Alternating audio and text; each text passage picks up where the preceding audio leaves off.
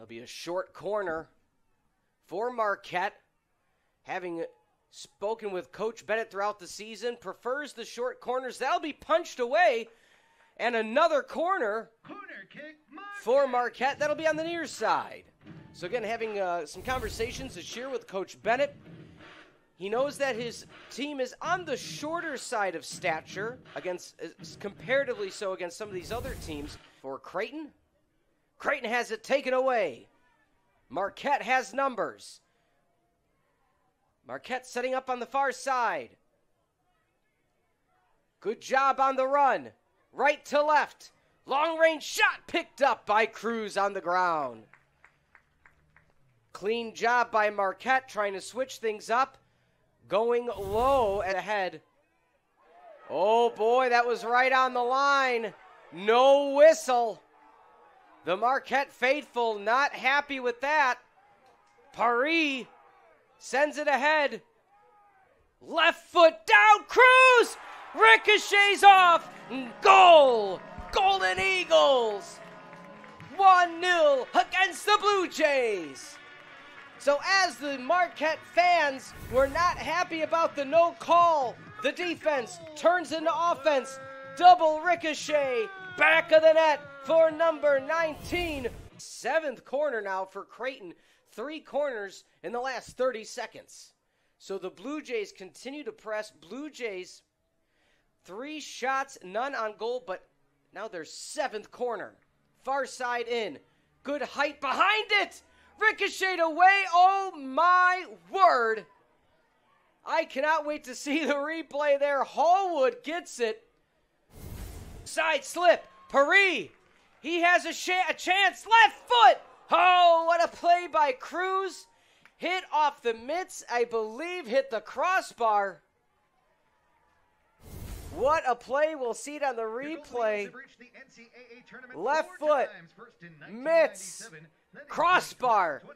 My goodness, both teams left to right foot to no avail. Watson looking for something. Left foot. Right foot in. Goal! Watson, the equalizer for the Blue Jays.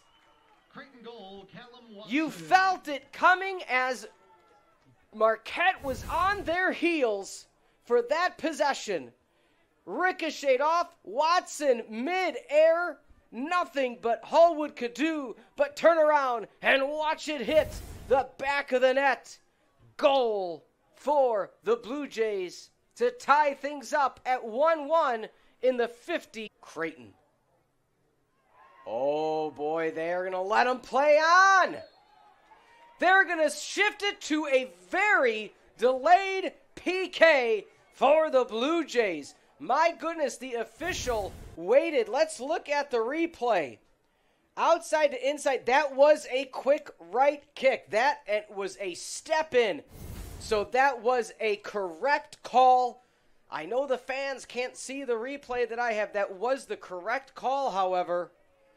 Lining up for the Blue Jays, looking for the equalizer on the PK. Duncan McGuire, the all star junior striker for Creighton. He'll line up.